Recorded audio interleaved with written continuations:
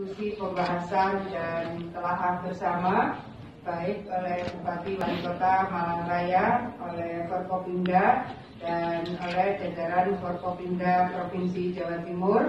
Hasil telahnya diawali dengan pemaparan dari Pak Dr. Rindu, pakar epidemiologi yang menjelaskan bahwa secara keseluruhan jadi bukan dilihat secara parsial, artinya kota Malang, kota Batu, kabupaten Malang tidak seperti itu. Kalau secara keseluruhan Malang Raya, maka dari scoring system yang diberikan dari peraturan Menteri Kesehatan, maka skor Malang Raya itu sudah 10.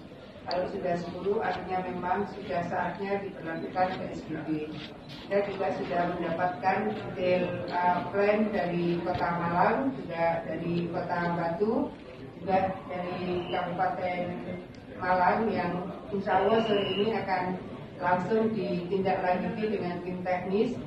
Jika ini sudah selesai lampirannya kita lihat cukup lengkap, maka akan nanti sore atau besok pagi kita akan segera mengirimkan surat ke Menteri Kesehatan untuk mengajukan penetapan PSBB di Malang Raya. Kira-kira seperti itu teman-teman sekalian.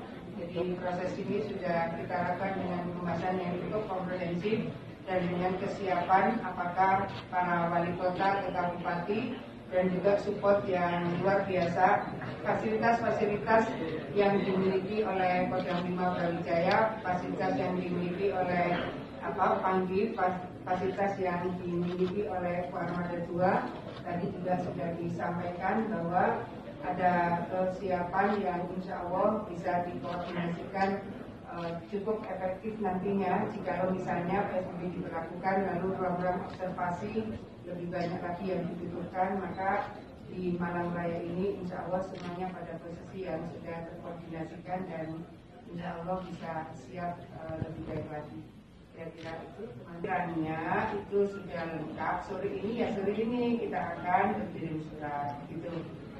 Kira-kira itu teman-teman. Terima kasih semuanya. Sampun